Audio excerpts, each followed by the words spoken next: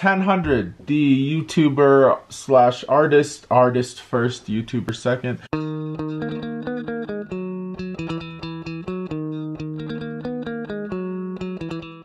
Good morning, guys. Good morning. I'm still in bed. I'm still in bed. And the reason I'm feeling is the lens. I can't see the lens open. I don't know if the lens been maybe it was, maybe it wasn't. But anyways, Ten Hundred, the YouTuber slash artist, artist first, YouTuber second.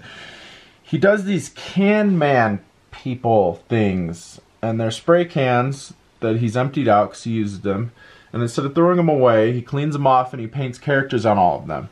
He did like 90 395 of them a year ago and they sold out immediately. I did not get one, but and I saw this last night cuz he posted something on Twitter that he was going to put a video up and he did like a little like teaser of an image and it was a spray can and I'm like, "Oh my god.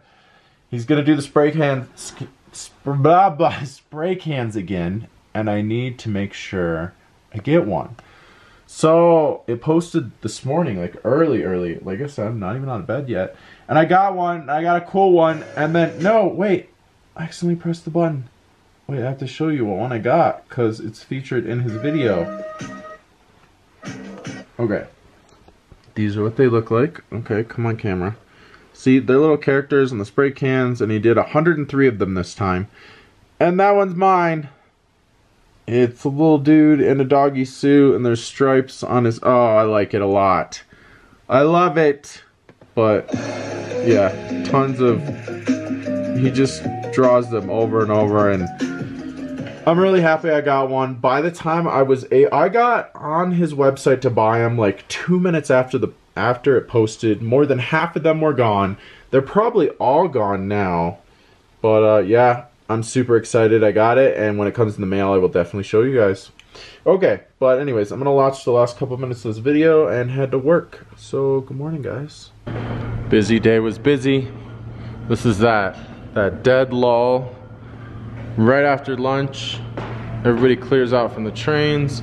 And this only happens in May. In July and June, there's no dead, there's no dead part. It's just busy the whole time, but May, it's kind of nice. Because, for example, right now, Zoe's going to get a shakes. Hopefully, hopefully she's good. They might be closed. Because a lot of places don't have workers, so they're not open. And it's like right over there. And I hope, I hope, I hope they're open. I want a shake. Okay, anyways, just update. I always, you know, forget to do this because I'm busy doing something, but I remembered today. I was gonna say good morning. good night. Good night, guys. I'm gonna edit this video, go to bed. Nick and I ate leftover pizza for dinner and watched a movie called, I forgot what it's called, Body Brokers. It was actually pretty good. We watched it on Amazon Prime. It was a drug movie. It's hard to explain. It just kind of has to do with people that go into rehab and detox and other people that are scamming insurance companies with those people that are going in there and then they split the money. It's a whole deal. It's actually a pretty decent movie. You should watch. It's based on a true story, true events, stuff like that.